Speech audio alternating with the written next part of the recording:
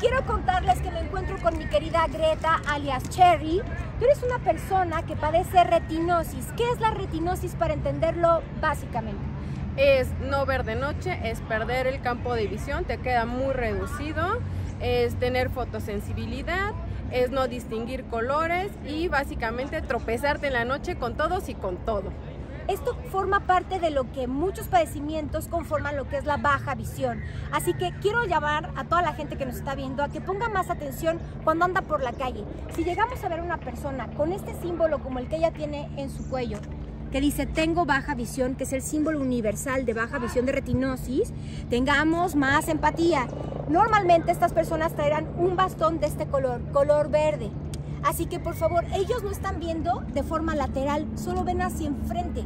Nosotros podemos tener un campo visual de 180 y ustedes lo tienen muy reducido al grado de como si viéramos así si pusieran así su mano. Sí, claro, nos queda una visión muy pequeña y entonces a nosotros nos cuesta mucho trabajo cualquier cuestión de movilidad. Es decir, si tú vienes muy rápido, porque el ritmo en la ciudad es así y yo lo entiendo, lo más probable es que choquemos. Pero lo que yo te pido es que no voltees y me grites una grosería, que te detengas y pienses por qué chocamos, por qué, porque tengo baja visión. Yo casi siempre traigo mi botón pues para evitar tantas explicaciones.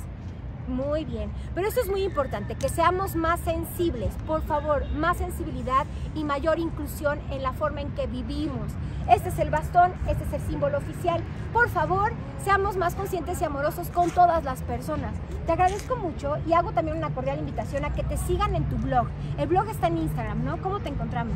Viviendo con retinosis y todo lleva guiones bajos. Exacto, es arroba viviendo guion bajo con guion bajo retinosis. Así los pueden encontrar en Instagram. Y de verdad, gracias por compartirte, por abrir tu corazón con nosotros. Y vamos a hacer un pequeño experimento. Voy a tomar de tu bolso. Claro, sí, lo que necesites. El cucurucho, a ver si se logra ver. Así es como vería una persona con baja visión con retinosis. Y puede llegar a ver peor, que ese es el problema, que va avanzando. Más o menos así. Se reduce el campo visual. Ay, Dios se reduce el campo visual y justamente esa es como la apreciación y perspectiva que ellos tienen. Así que por favor, tóquense el corazón, hagamos la diferencia, que se unan a tu blog, ¿no?